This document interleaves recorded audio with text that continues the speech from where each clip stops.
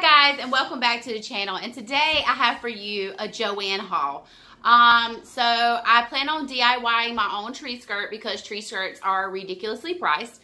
Um, so um, I went and bought a few things. I plan on making a throw blanket and of course I needed ribbon. So the first thing I have is this plushy plushy plushy plushy um, from Joann's as you can see right there. It says design whatever but um, I got two yards of this to make a fairly decent sized blanket.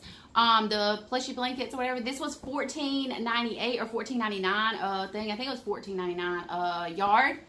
Um, they also had um, the ponchos. I was in in love with, if I can get it right, I guess. Um, but they also had the ponchos, which I was super, super in love with. This is nice to have just to throw over your shoulders when it's not extremely cold outside like today. Um, I grabbed this. This was $6.49 a yard. Um, we needed this. This is to make the tree skirt with. I'm going to have to find some kind of ribbon to go with it. I'm not quite for sure. Just a plain ribbon to go with it.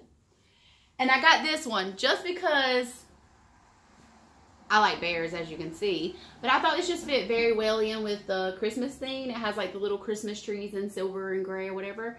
And I do plan on doing my Christmas tree in the buffalo check with white and some Rae Dunn in it too.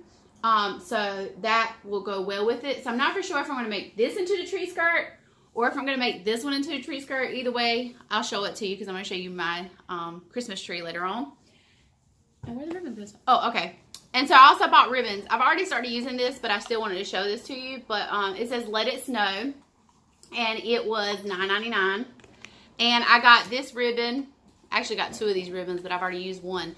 And this is the next one. It's just the buffalo Chick small print. And these were, I think, $3.99. Yeah, $3.99. So, guys, um, go check your local craft stores right now. I know they're having some kind of sale. I'm just not familiar with it right now because I haven't been there.